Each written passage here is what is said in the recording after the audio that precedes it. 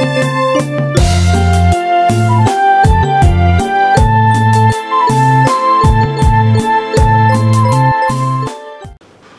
ជ្រាបសួរជាថ្មីអរលោកស្រីជាណាប់ជាបាលមានអភិដាសិស្សទី12នៃសាលាអន្តរជាតិ Smart Kid ក៏ដូចជាបងទី12ទាំងអស់បាទសួស្តីឥឡូវនេះយើងគៀកមកដល់នឹងកងពាន់ នៃការប្រឡងហើយព្រោះយើងឃើញថាការណែនាំថ្មីរបស់យើងគឺប្រឡងថ្ងៃ17ខែ8អញ្ចឹងយើងគៀកហើយអញ្ចឹងសូមបងប្អូនយកចិត្តទុកដាក់ក្នុងការសិក្សារៀនសូត្រសប្តាហ៍មុនយើងបានសិក្សាចប់នៅពេលបញ្ហាអក្សរសិល្ប៍ខ្មែរបាទនៅក្នុងរឿងហងជន់យើងបានចប់ហើយឥឡូវនេះយើងមកខាតពេលវេលាយើងចូលមកក្នុងមេរៀនទី10ដែលជាមេរៀនចុងក្រោយនៃទី12របស់យើងដែលតកតងទៅនឹងអក្សរសិល្ប៍បរទេសអញ្ចឹងដើម្បីយើងដឹងហើយថាកាលណាយើងយកអំពីចលនាអក្សរសិល្ប៍គឺយើងមាន4ចលនាធំធំក្នុងចរន្តនៃចលនាអក្សរសិល្ប៍យើងបានសិក្សាអស់3ហើយគឺចលនាពុទ្ធនិយមយើងសិក្សាហើយខេមរៈនិយមសិក្សាហើយព្រាហ្មណ៍និយមសិក្សាហើយជាងនៅមេរៀនទី10នេះគេឲ្យយើងសិក្សាមួយទៀតអំពីអក្សរសិល្ប៍បរទេសនិយមអញ្ចឹងយើងដឹងហើយនិយមន័យនៃអក្សរសិល្ប៍អក្សរសិល្ប៍បរទេសនិយមអក្សរសិល្ប៍បរទេសនិយមបើយើងនិយាយអំពីបរិបទរបស់ដំណើរនៃអក្សរសិល្ប៍បរទេសនិយមគឺ វាចេញមកពីអក្សរសិល្ប៍ខេមរៈនិយមបានន័យថានៅក្នុងខេមរៈនិយមវាជាអក្សរសិល្ប៍មួយ ដែលលើកឡើងអំពីបញ្ហាជាតិសាសន៍របស់ខ្លួននៅក្នុងសម័យសម័យកាលណាមួយឬក៏និយាយអំពីតតិជីវិតនៃជនជាតិរបស់ខ្លួនប្រទេសរបស់ខ្លួនឧទាហរណ៍ដូចជារឿងទុំទាវអញ្ចឹងទុំទាវគឺជាខេមរៈនិយមណាទុំទាវខេមរៈនិយម អញ្ចឹងនៅក្នុងរឿងទុំទាវបានលើកយកតតិភាពនៃសម័យកាលលំវែកយកមកបង្ហាញជ្រប់បញ្ចាំងទី1ទៅលើអី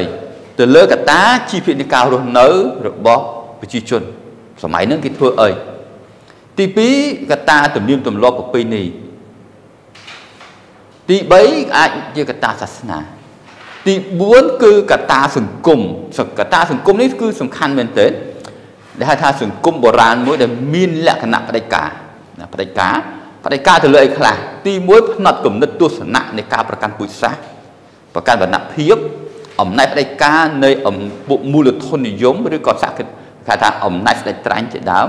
ណារហូតដល់ព្រះរាជារាមាជើងព្រៃមកសម្លាប់អកជូនដើម្បីគម្រាមស្ដេចតាញ់អត់ដល់ទៅទៀតកុំឲ្យមានអំពើយងខ្នងដោយអកជូនអង្គញាអកជូនត្បូងខ្មុំ ចេញពីចរន្តនៃបញ្ហាអសរសិល្ប៍ខេមរយមនឹងហើយដែលបរទេសទាំងអស់គេមើលឃើញសម្លឹងមើលឃើញថាចលនាខេមរយមរបស់យើងនឹងមានចំណុចល្អហើយវាមានតំណែងទំនងជាមួយនឹងសម័យកាលណាមួយរបស់ខ្លួនណាត្រូវនឹងបញ្ហារបស់ខ្លួនក្នុងសម័យកាលនោះដូចស្តៀងគ្នាប្រហែលគ្នាណាចឹងគេចង់ពង្រីកបញ្ហាអតិពលនឹងទៅដល់ការសិក្សារបស់គេគេយករឿងហ្នឹងទៅធ្វើការផ្សព្វផ្សាយទៅដល់ សិស្សសាស្ត្ររបស់គេនិស្សិតរបស់គេចឹងពេលហ្នឹងអាចរណអសរសិល្ប៍របស់មួយហ្នឹងវាคล้ายទៅជាចរន្តអសរសិល្ប៍បរទេសនិយមបាទប្រែទៅជាអសរសិល្ប៍បរទេសនិយមអញ្ចឹងនេះជាចំណុចមួយដែលដែលយើងឃើញថាចរន្តនៃសន្តិសុខរបស់ទេសនិយមគឺវាមានដំណើរដើមតបបែបហ្នឹងចឹងហើយបានជានៅក្នុងថ្ងៃនេះយើងសិក្សាអំពីអសរសិល្ប៍បរទេសនិយមគឺយើងសិក្សាអំពីរឿងអឺអឺ មួយគឺយើងដាក់នៅក្នុងអំណាចរបស់យើងគឺមរណភាពដ៏ក្លាហានរបស់ហាំឡែតយើងបានយើងដកស្រង់ចេញពីរឿងហាំឡែតអញ្ចឹងកន្លែងហ្នឹងនៅក្នុងបំណងនៃការសិក្សា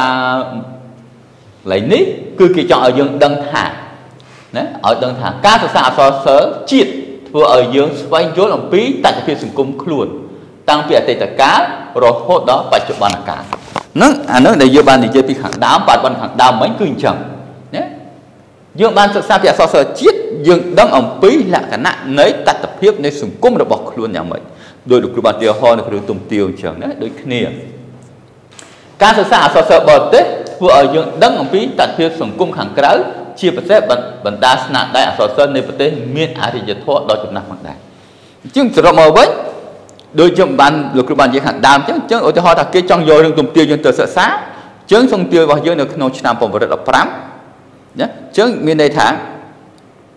គេដឹងពីតថភាពសង្គមរបស់យើងអរិយធម៌របស់យើងដែលយើងជាជាតិសាសន៍មួយដែលមានវ័យចំណាស់ជាងគេនៅក្នុងអាស៊ីនេះនិយាយទៅយើងជាជនជាតិជាតិសាសន៍ដែលមានវ័យចំណាស់ជាងគេនៅក្នុងអាស៊ីយើងដឹងហើយថាបុព្វបុត្រដើមយើងមានតែភូមាបាទភូមាហើយមកខ្មែរយើងនឹងឯងហើយបានមកមានចម្ប៉ាមួយទៀតតែប៉ុណ្្នឹងឯង3នៅក្នុងអាស៊ីអញ្ចឹងយើងគេសិក្សាស្នាក់របស់យើងទៅ ហើយយើងទៅយកអត្ថបទគេមកសិក្សាហ្នឹងដើម្បីធ្វើការប្រៀបធៀបឲ្យយើងឃើញពីសម័យកាលដូចគ្នាសម័យកាលដូចគ្នាណាសិក្សាឲ្យឃើញពីសម័យកាលដូចគ្នាថានៅក្នុងសម័យកាលចន្លោះបាក់ប្រែគ្នាហ្នឹងសតវត្សសតវត្សជាមួយគ្នាឬក៏ឆ្នាំខុសគ្នាតិចតួចហ្នឹងវាមានតភាពយ៉ាងម៉េចនៅសង្គមពិភពខាងក្រៅហ្នឹងដើម្បីយើងធ្វើការប្រៀបធៀបតើយើងខុសគ្នាឬក៏ដូចដូចគ្នានៅក្នុងចរន្តនៃនៃបរិបទសង្គមហ្នឹងយើងឲ្យបានយើងសិក្សាឡើយនេះ គឺតកតននឹងរឿងហាំឡែតអញ្ចឹងសូមឲ្យបងប្អូនកត់ត្រាខ្លឹមសារចំណងជើងមេរៀនខ្លីទី10នេះតិចណាអស់គ្នាបាទចឹងនៅក្នុងអំណានមេរៀនទី10រឿងហាំឡែតនេះគឺគេមានគោលបំណងវត្ថុបំណងចំណុច3ទី1ឲ្យយើងស្គាល់អំពីសង្គមបរិយាកាសប្រទេសអង់គ្លេសសតវត្សទី16តាមរយៈតបដកស្រង់រឿងហាំឡែតនេះទី2ឲ្យរកឃើញពីអត្តរស នៃរឿងហ្នឹងតាមរយៈតបសម្រងដែរហើយទី3បន្តស្មារតីមនុស្សនិយមតាមរយៈសកម្មភាពរបស់តួអង្គហាំឡែតអញ្ចឹងអានឹងគឺជាចំណុចដែលយើងត្រូវសិក្សាយើងនិយាយអំពីបុព្វប្រវត្តិនៅរឿងហាំឡែតបន្តិចណាកន្លែងហ្នឹងគឺយើងនិយាយបន្តិចនៅក្នុងឯកសាររបស់ក្រសួងអប់រំគាត់បានលើកឡើងថារឿងហាំឡែតនេះគឺដកស្រង់ចេញមកពី អសសរបរទេសកម្រិតទី3បាទកម្រិតទី3ឆ្នាំកម្រិតទី3ទី9ដល់ទី10របស់ក្រសួងអប់រំឆ្នាំ1987អឺកន្លែងនេះបងអូនបើសិនណាបងអូនបានឃើញអីដាក់អញ្ចឹងលោកគ្រូចង់បកស្រាយបន្តិចណាអសសរបរទេសកម្រិតទី3កម្រិត3ថ្នាក់ទី9ដល់ទីទី10របស់ក្រសួងអប់រំឆ្នាំ1987មានន័យថា សម័យសាធារណរដ្ឋជាកម្ពុជាគេបែងចែកសាលាចេញជា3កម្រិតណាទី1កម្រិតសិក្សាទី1កម្រិតសិក្សាទី1នោះគឺស្មើនឹងបឋមសិក្សាទី2កម្រិតមធ្យមសិក្សាកម្រិត2អានឹងស្មើនឹងអនុវិទ្យាល័យរបស់យើងណាហើយកម្រិតទី3មធ្យមថាសាលាកម្រិតសិក្សាទី3អានឹងស្មើនឹងថ្នាក់វិទ្យាល័យ អញ្ចឹងវិទ្យាល័យពីដើមគឺគេចូលថ្នាក់ទី9ហើយទី10បាទថ្នាក់ទី10គឺផ្លងបាក់ដប់ហ្នឹងគឺពីដើមសម័យសាធារណរដ្ឋគឺអញ្ចឹងអញ្ចឹងសភៅនេះដកស្រង់ចេញពីសភៅការសិក្សាពីសម័យសាធារណរដ្ឋប្រជាកម្ពុជាអសរសិល្ប៍បើយើងនិយាយពីប្រភពមួយទៀតគឺអសរសិល្ប៍ជាអសរសិល្ប៍ប្រចាំប្រទេសមុនសម័យមុនសម័យរបស់សាស្ត្រាចារ្យខឹមខឹមសគុណគាត់ប្រើប្រាស់នៅឆ្នាំ1987ដែរ ចឹងបានន័យថាជាអសរសិល្ប៍ប្រចាំប្រទេសបានន័យថាជាអសរសិល្ប៍បរទេសមួយ ដែលរៀបរៀងដោយសាស្ត្រាចារ្យខឹមសុគន្ធនៅឆ្នាំ1987ណានេះគឺជាយើងដឹងអំពីបរិបទនៃសាច់រឿងនឹងតិចមុននឹងចូលដល់ហាំឡែតនេះបើយើងនិយាយអំពីជីវប្រវត្តិនិងស្នាដៃរបស់ Shakespeare Shakespeare ឬក៏យើងហៅថា William Shakespeare William Shakespeare សេធម្មតាទៅ យើងមើលនៅក្នុងយើង search នៅ YouTube ក៏បានដែរយើងដាក់ថាអក្សរសិល្ប៍បរទេសទៅចេញ William William Shakespeare អ្នកនិពន្ធរឿង Hamlet ឈ្មោះ John Shakespeare បាទ John Shakespeare កើតនៅឆ្នាំ1564ក្នុងគ្រួសារចំនួនបាទគ្រួសារចំនួនធូធាម្នាក់នៅទីក្រុង Stratford on Avon on Avon កើតនៅឆ្នាំ1964ក្នុងគ្រួសារអ្នកចំនួនទូធាម្នាក់នៅទីក្រុង Strait Pen on Avon ឪពុករបស់គាត់ឈ្មោះ John Shakespeare បាទដល់ពេលគាត់ក៏ John Shakespeare ដែរប៉ុន្តែគេចាត់ថាលោក Shakespeare តែម្ដងទៅណា Shakespeare និងម្ដាយឈ្មោះ Manny Aden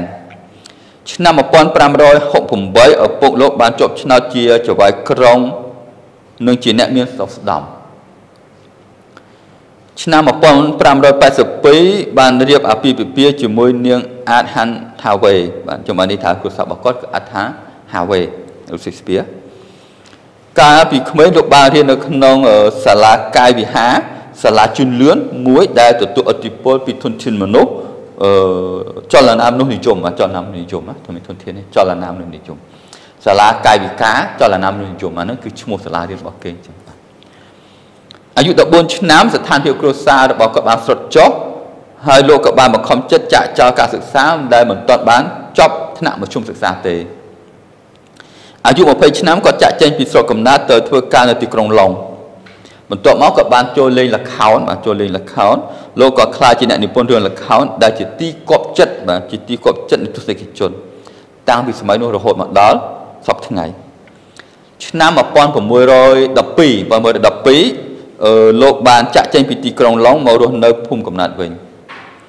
លោកបានទទួលមរណភាពនៅឆ្នាំ1616 1616ណាស្នាដៃប្រឌិតរបស់គាត់សម្បូរបែបណាស់លោកបានសរសេរ37រឿងណាលោក Shakespeare បាន William Shakespeare បានសរសេរ37រឿងក្នុងនោះមានរឿងទារុណភាពហាសភាពនេតភាពប្រវត្តិសាស្ត្រ មិនតែប៉ុណ្ណោះលោកក៏ជាកវីនៃអត្ថបទកំណាព្យដ៏វែងពីរទៀតនិងកម្រអត្ថបទកំណាព្យវិណាគិតបាទដែលមាន154វគ្គនឹងគឺជាអ្វីដែលលោកបានប្រឹងប្រែងកសាងនៅក្នុងនឹងស្នាដៃរបស់លោក Shakespeare មានចំនួនដែលយើងស្រង់ឡើងនេះមានមួយចំនួនដូចជារឿងអឺ Romeo Romeo និង Juliet ជូអឺ Romeo និង Juliet បាទសុំទោស Romeo និង Juliet អានេះយើងធ្លាប់ឮអារឿងហ្នឹងណាបាទនៅឆ្នាំ1594អ្នកជំនួញនៅ Vernil 1594ដែរសុបិននារាត្រីមួយនៅនិទាខរដូវ1594ដែររាត្រីទី12 1601 Hamlet នេះយើងសិក្សានេះ គឺនៅនិពន្ធនៅឆ្នាំ1600 1601ដែរណា Hamlet ណាហើយ Hothena Hothena នេះនិពន្ធនៅឆ្នាំ1601ដែរ Macbeth 1605ហើយនឹងព្រះចៅលា1607នេះគឺជាអ្វីដែលជាស្នាដៃរបស់លោក Shakespeare នៅក្នុងរឿង Hamlet នេះឯង ចឹងនេះវាតកតនឹងសំណួរទី1អញ្ចឹងបងអូនអាចស្ដាប់សំណួរទី1ហ្នឹងទៅស្ដាប់អ្វីលោកគ្រូបានលើកឡើងពីក្នុងឯកសារនេះកត់ត្រាទៅផងណាចឹងអត់មានអីជាការលំបាកទេការសិក្សានៅក្នុងអក្សរសិល្ប៍របស់យើងនៅក្នុងអំណាចរបស់យើងក៏ដូចជាការសិក្សានៅក្នុងអឺក៏ដូចជានៅក្នុងអត្ថបទផ្សេងផ្សេងយើង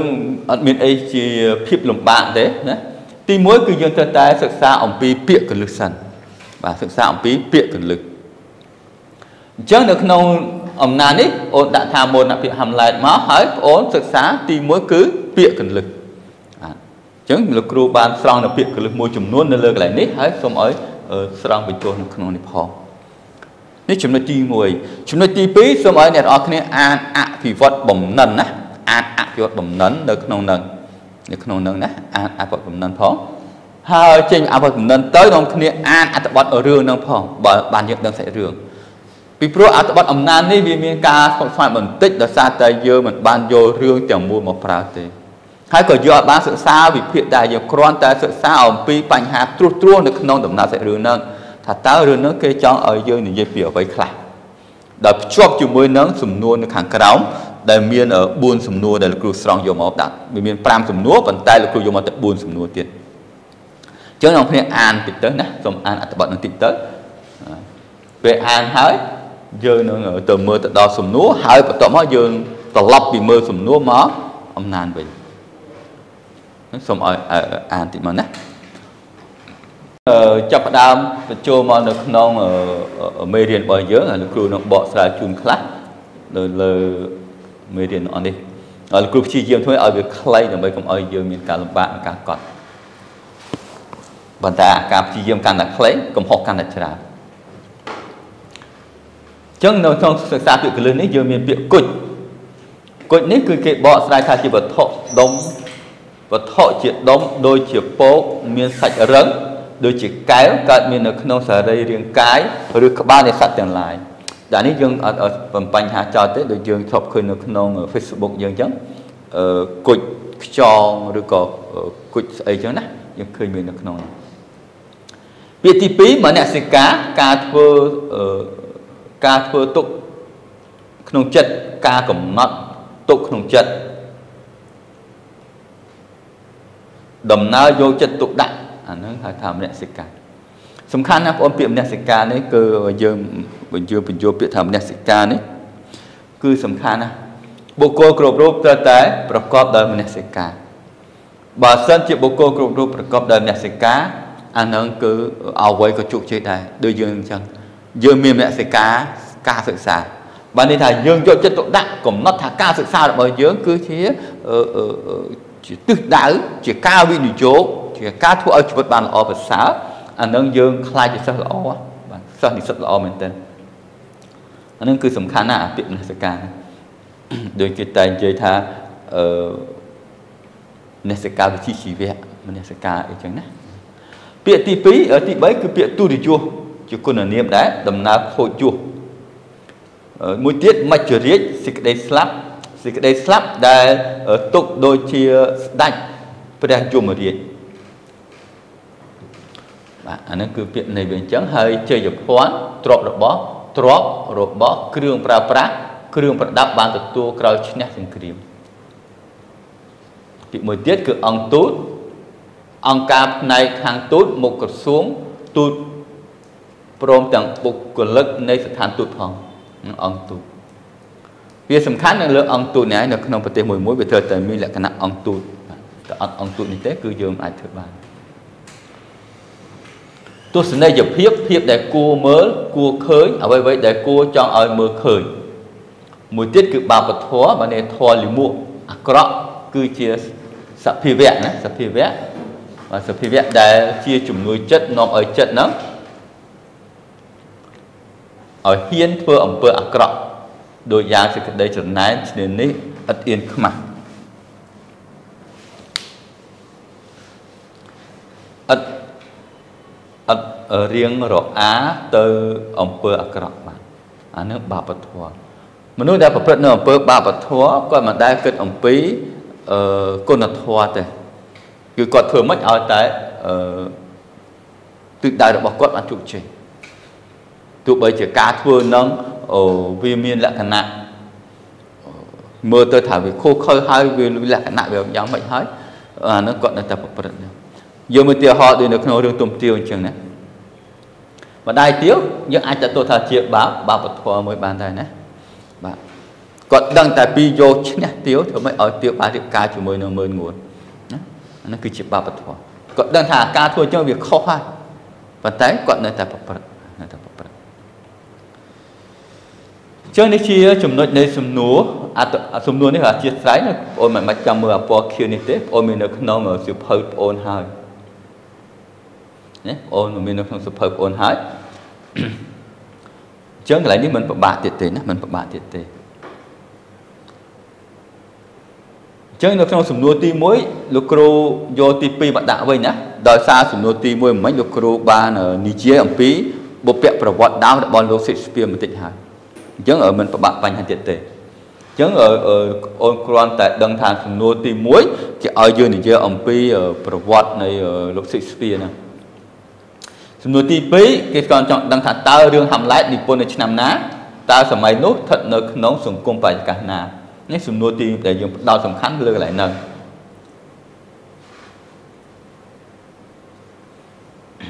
អញ្ចឹងបានន័យថារឿង Hamlet និពន្ធនៅឆ្នាំ1601 1601លោកគ្រូបានបង្ហាញមកអញ្ចឹង1601អ្នកនិពន្ធឈ្មោះ John Shakespeare ឬក៏គេឲ្យឈ្មោះទៀតថា William Shakespeare ណានៅក្នុងហ្នឹងគេដាក់អាច គេប្រាប់ពាក្យថា William Shakespeare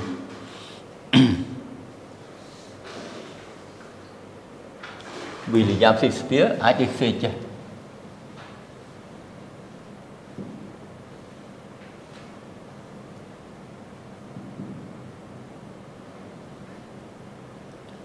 នេះចេះ William អឺឃើញសំទោសលោកគ្រូ William ចឹងត្រូវ William Shakespeare មកធម្មតាណាជាងការគេអាចថាដាក់ William Shakespeare ហ្នឹងវាពិបាកក្នុងការកំណត់ភាសាតែអឺរ៉ុបគាត់យកឈ្មោះហ្នឹងវាអឺតាមឪពុកទាំងស្រុងអីចឹងទៅចឹងវាពិបាក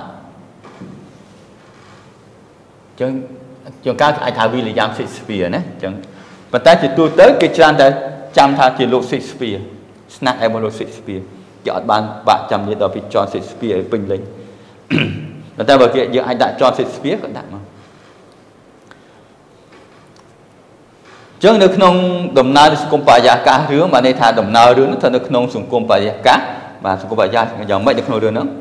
ចឹងរឿងហាំឡែតស្ថិតនៅក្នុងសម័យមួយដែលមានការប្រែប្រួលពីរបបសក្តិភូមិទៅ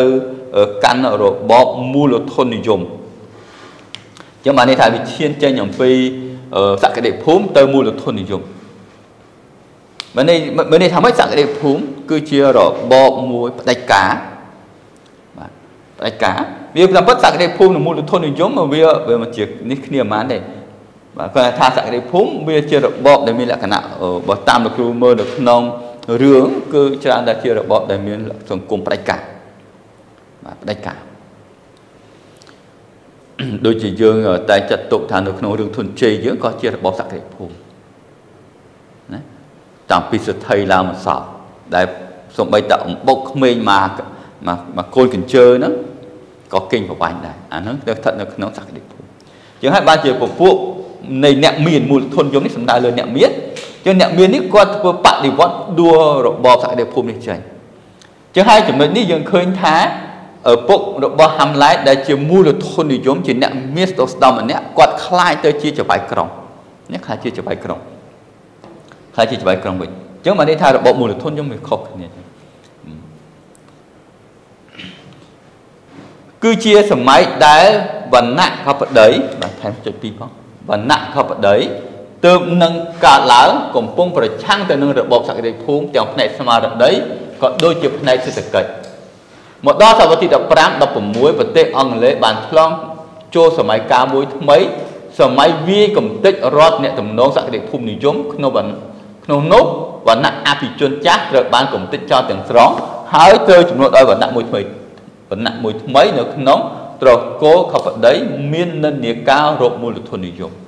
ចាអានោះវាមានអីទេវាដូចថាមានអីបញ្ហាទេឡើយហ្នឹងគ្រាន់តែថាវាផ្លាស់ប្ដូរពីសក្តិភូមិវានៅតែជាពពួកវណ្ណៈសក្តិភូមិផ្ដាច់ការដូចគ្នាជាងហើយបានជាយើងឃើញមានបដិវត្តរុស្ស៊ីមួយនឹងប្រវត្តិសាស្ត្ររបស់យើងហ្នឹងគឺ បដិវត្តនៃការផ្ដួលរំលំនៃពពួកវណ្ណៈមូលធននិយមហ្នឹងឯងប្រមូលដូជាងកន្លែងហ្នឹងអត់មានអីពិបាកទេគាត់យើងគិតតែក្នុងសម័យកាលប៉ុណ្ណឹងឯងដូចគ្នាបដិវត្តវិញអញ្ចឹងអញ្ចឹងបើយើងធៀបបញ្ហានេះជាមួយនឹងរឿងទុំទាវក៏ដូចគ្នាដែរដោយយើងតែនិយាយថាតួអង្គទាវហើយនឹងទុំគាត់ធ្វើបដិវត្តបដិវត្តដួលរំលំនៃរបបបាទរបបផ្ដាច់ការសក្តិភូមិបាទ ក្នុងសម័យលង្វែកគឺចង់ផ្លាស់ប្ដូរបាទចង់ផ្លាស់ប្ដូរដូចគ្នាចង់ផ្លាស់ប្ដូរចរន្តណាចរន្តអឺអំណាចផ្ដាច់ការហ្នឹងមកចរន្តមួយដែលវាវាមានលក្ខណៈល្អជាងមុនណាអញ្ចឹងតស៊ូជាមួយនឹងផ្នែកគំនិតចាស់បុរាណតស៊ូមួយស្ដេចត្រាញ់ណាសពបែបយ៉ាងហើយ ឃើញគាត់បានការតស៊ូរបស់ទុំទាវគាត់អាចយកជោគជ័យទៅលើរាមាបានណាគាត់ឆ្លើយគាត់យកឈ្នះលើរាមាបានប៉ុន្តែគាត់មិនអាចយកឈ្នះទៅលើអំណាចអត្រាញ់ផ្សេងទៀតទេ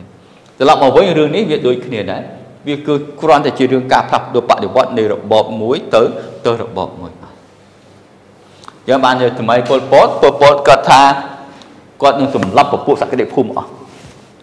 ពួកនោះគឺជាឆ្លើងជញ្ជក់ឈាមសង្គម ជញ្ជក់ឈាមប្រជាជនអញ្ចឹងហើយបានពលពតគាត់សម្លាប់ពួកអ្នកមានអ្នករស់ស៊ីអ្នកជំនួយអ្នកធ្វើការរាជការធំធំនោះគាត់ចាត់ទុកថាពួកនោះជាសក្តិភូមិ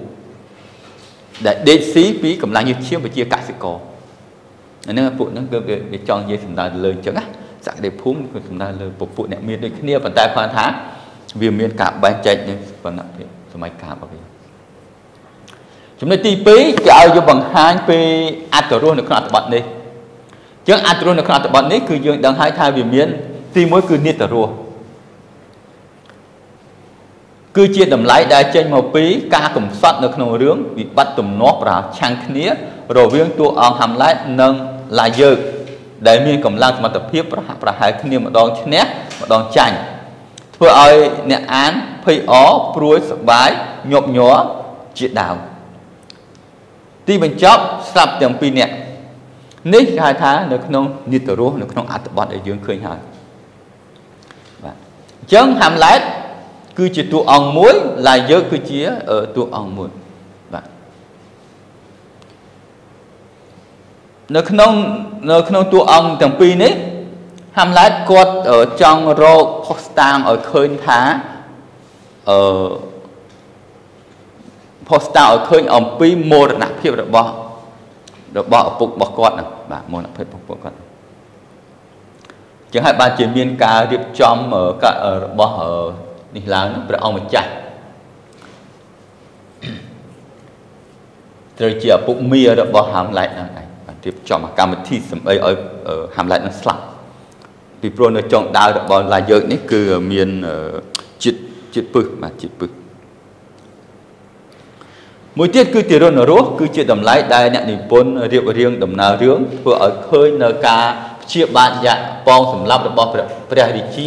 ចំពោះហាំឡែតនេះដែលយើងបានឃើញមិញហ្នឹងបានយើងជាខាងដើមហ្នឹងហើយប្រាថ្នាពលដាក់នៅក្នុងកែវស្រាតែព្រះរាជនីបានសោយស្រានោះសគត់ភ្លាមភ្លាមទៅព្រះរាជាដាក់ជាតិពឹសនៅនៅចុងសាប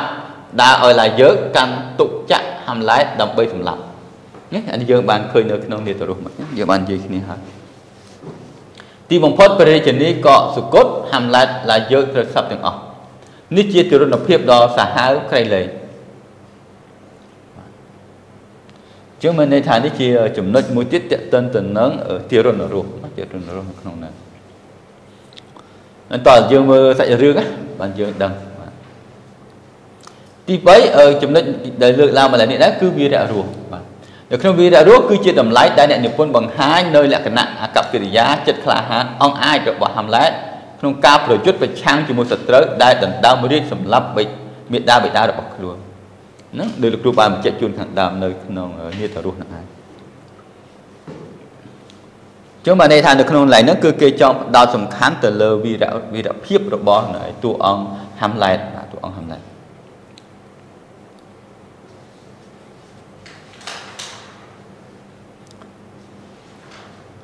តថរស់តថរស់គឺជាតម្លៃ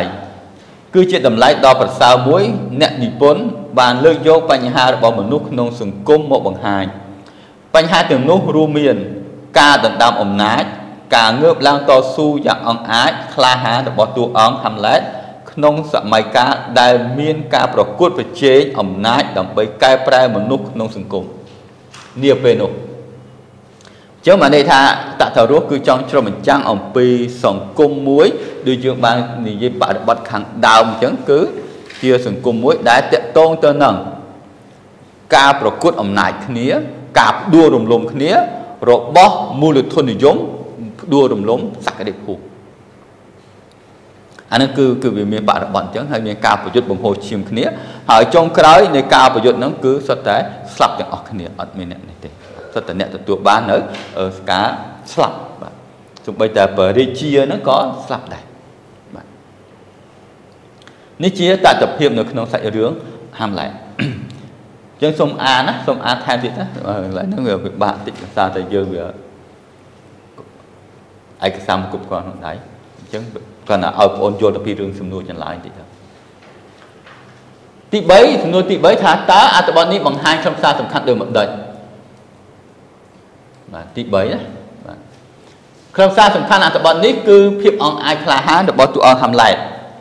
តួអង្គហាំឡែតដែលប្រឹងប្រែងតស៊ូប្រឆាំងជាមួយសត្រូវដែលសម្លាប់ព្រះរាជវង្សានុវង្សរហូតដល់ដំណក់ឈាមចុងក្រោយរបស់ខ្លួនអានឹងគឺជាដំណើរនៃសាច់រឿងតែប៉ុណ្្នឹងទេអត់មានអីជាបញ្ហាសំខាន់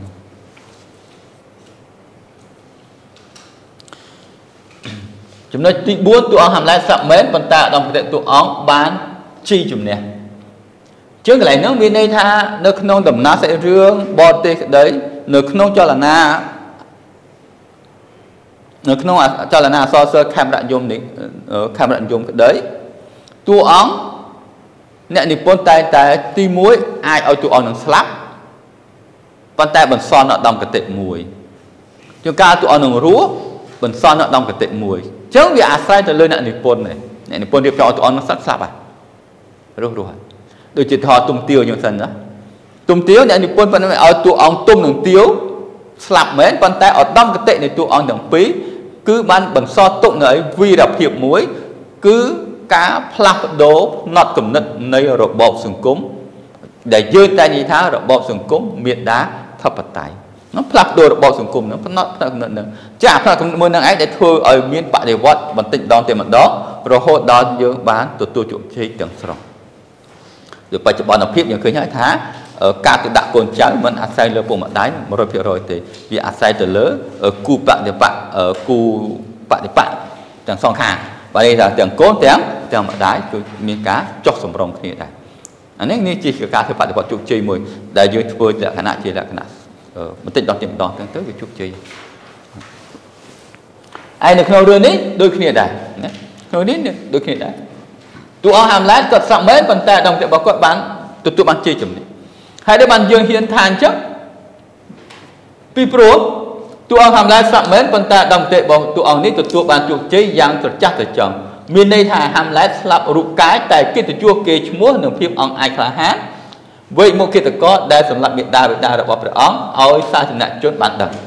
បានដឹងលើបានឃើញមុខមាត់ពិតអ្នកក្បត់បងប្អូន ញាតសន្តានដោយសារតែការស្រឡាញ់អំណាចបុណ្យស័ក្តិរបស់ព្រះរាជាអញ្ចឹងមានន័យថាឥឡូវហ្នឹងគឺយើងឃើញហើយថាគាត់បានអន្សល់នៅកិត្តិយសមួយគឺឲ្យគេដឹងថាអ្វីដែលវាមានបរិបត្តិពីមុនមក ពីការកាប់បង្ហូរឈាមគ្នានៅក្នុងរាជវង្សពេលមុនមក គឺបានវិកមុខមាត់ឃើញហើយថាដោយសារតែព្រះរាជានេះឯងជាអ្នកប្រព្រឹត្តជាអ្នកធ្វើ ចឹងនៅលើកន្លែងហ្នឹងគឺយើងអាចទាញការសន្និដ្ឋានបានប៉ុណ្ណឹងណាទាញបានសន្និដ្ឋានប៉ុណ្ណឹងហើយបងប្អូនអាចកត់ត្រាវាមកណាមើលទៅលើការកត់ត្រាហ្នឹងខ្លីៗចឹងទៅណាបញ្ចប់អំណាចប៉ុណ្ណឹងសិនចុះកុំឲ្យច្រើនពេកទៅយើងមានការលំបាកក្នុងការកត់ត្រាអញ្ចឹងគ្រូសូមបញ្ចប់អំណាចប៉ុណ្នេះហើយយើងនឹងជួបគ្នានៅអំណាចបន្តទៀតនៅពេលក្រោយគឺព្រះនាងសេតាយើងសូមឲ្យអានព្រះនាងសេតាផងណា អរគុណច្រើនជួបគ្នាពេលពេលក្រោយអរគុណច្រើន